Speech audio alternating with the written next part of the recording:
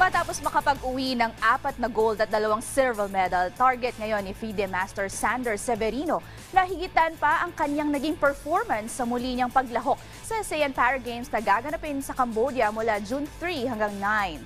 Ang detalye sa balitang yan sa ulat ni Dari Roclat. Itinanghal na most decorated athlete sa nakaraang ASEAN Para Games si FIDE Master Sander Severino matapos siyang makapag-uwi ng apat na gold at dalawang silver medal para sa Philippine Para Chess Team. Kaya sa muling paglahok ng 34-year-old Filipino World Chess Champion sa regional meet ay target niya na makuha ang anim na gold medal sa chess tournament. Personally po ano eh kasi last ah, para games nakakuha kami ng ano ng 4 gold sa sa category namin, 4 golds tapos 2 silver ako. So ngayon ah, gusto ko naman makuha yung guro sana ah, God, wi- God willing ah, makuha yung 6 gold. So yun po yung target namin. Ayon pa kay Severino, mas nakapaghanda sila ngayon kumpara sa nakaraang Para Games dahil nalimitahan ng pandemya ang kanilang mga ginawang pag-iensayo.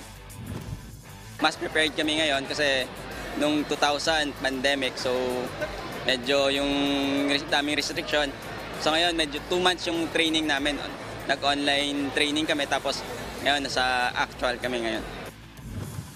Nakalis na si Severino at ang buong Philippine Chess Team patungong Phnom Penh, Cambodia kagabi bago magsimula ang kanilang kampanya mula June 3 hanggang 9. Daryl Oclares, PTV Sports.